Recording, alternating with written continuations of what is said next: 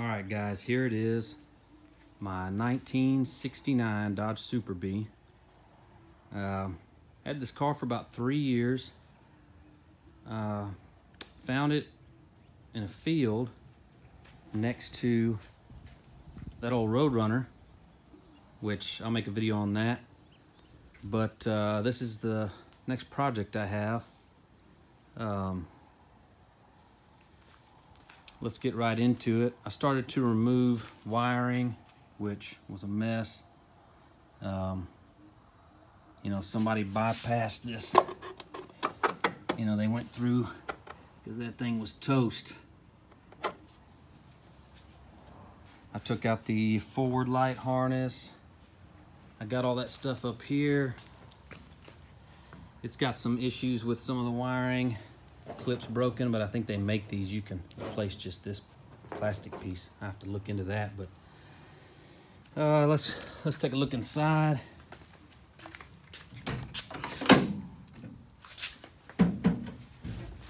I already took out the cluster. The AC car. It's got the box. Everything's still underneath, but you can see it's got issues. You know, it was an automatic car. They put a four-speed in it. So it's it's got it's got rust in the floors back there. Looks good. That little these little small sections. That one, eh. Passenger side doesn't look too bad. Um, I tore the headliner out. It was actually still in the car. All the interior was still in the car. It was all there. Um, it just didn't have a motor transmission in the car at the time.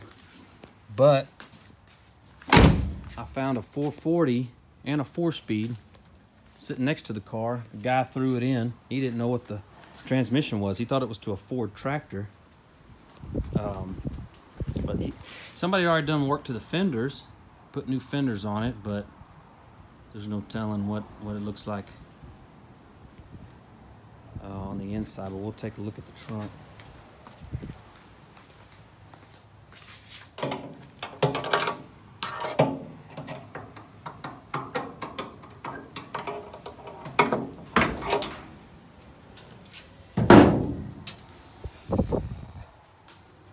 So yeah, of course the trunk center pan is the bad part.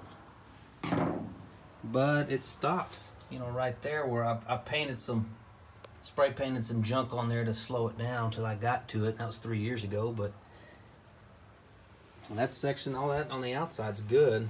The trunk it's extensions. Um, all the numbers are there trunk lid looks pretty good. I don't think, I think there are any issues with that. Um, let's look underneath.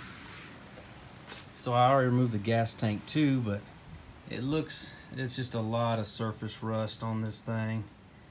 Um, you know, and until I start tearing into it, there is a section right there that rear frame rail. That's where it was sitting when I found it, was sitting on that thing. And when I put tires on it, I already saw that issue. But everything else I've jabbed with the screwdriver seems okay. But of course, when you start to blast or do any work on them, you find more issues. So yeah, the top of the car was brown when I found it. So again, I put some stuff on there to, to stop it. But yeah, I mean, the whole car was there. You know, all that stuff's underneath the dash. Um, you know, and the doors look good. I mean, this is all nice looking.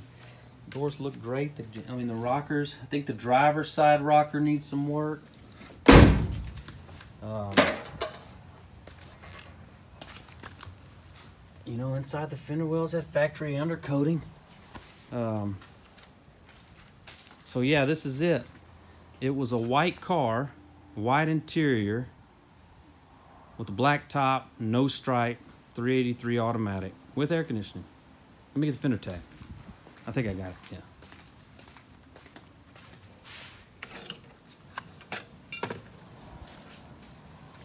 All right. It may be a little tough to see. Let me, let me see if I can. Okay, so yeah.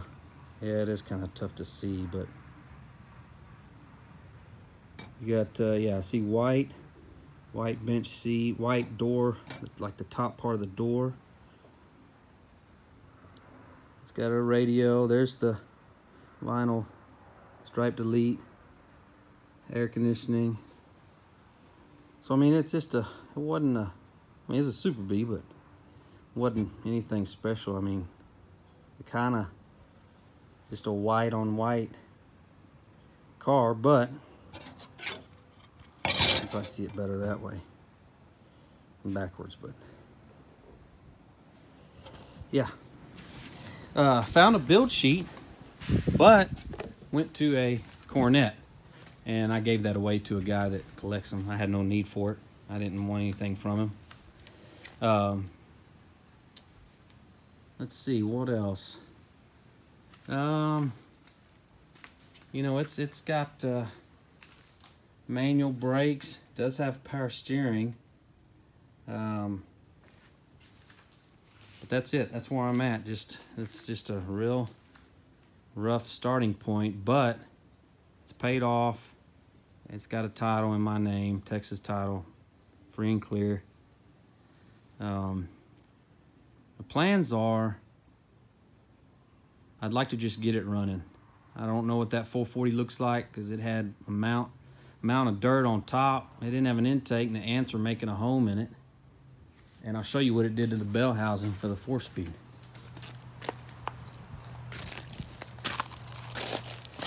So yeah, you can imagine what the block looks like. But it's in Houston right now. Machine shop outside Houston. But coronavirus got them shut down. And then uh, I got found this four speed next to it. That came out of a Coronet RT, a 70. Uh, so I guess my plans are, yeah, just I just want to. I'm, I'm on a budget. I can't go full resto. Even if I did, I wouldn't go back white. I wouldn't go back vinyl top. I don't know what color I'd go if I could. Everything I do to this car, I got to do on my own. But luckily, since I have a Charger that I've finished a while back, it's kind of the same. It's really close to being the same. I mean, that's the gauge cluster. It's the same on a Charger. So, and the and the wiring, you know, I can refurbish that stuff because that factory wiring is expensive. And since I have a manual and my charger is the same, I'd like to stick stick with that best I can and you know engine wise I'm hoping that if that motor's not good I'm, I'm probably gonna pull the motor out of this Roadrunner and use it. I already got a transmission for the Super Bee that's been rebuilt. And it comes with I had that it came with that bulge hood. It came with this hood also which I think these hoods are a little expensive but it's uh it's the fresh air hood and it's got, you know, it's got everything under here. These little, this little cable, everything works, you know, but then I'd have to get the intake and the, I don't know if I'll mess with that. I might just sell that to put money towards this car because right now I don't have but a thousand dollars or so to spend on it. Um, but the more overtime I work, the more money I can throw at it. So yeah, that's where I'm at. It's just slowly but surely, I'm gonna try to get this thing back on the road. Uh, try to, uh, uh, you know, attack as much rust and, and, replace that stuff as I can. Um, you know, that's where the battery's set, so you know, it's, uh, it's got holes. I'll have to, you know, mess with that, and then we got this all this all chewed up from pulling the motor, I guess, a couple of times you know but it's got the numbers on it so I'd like to keep that so yeah that's pretty much it um, I think that uh, what I'll do next is uh, make a video for that Roadrunner and then I'll make one for my Charger too just to why not everybody likes a, a 69 Charger let's see if you can see it oh yeah anyways, thanks for watching. Stay tuned. Hopefully I'll be getting more videos out of the progress on this car. And I guess that's it, guys. I appreciate it.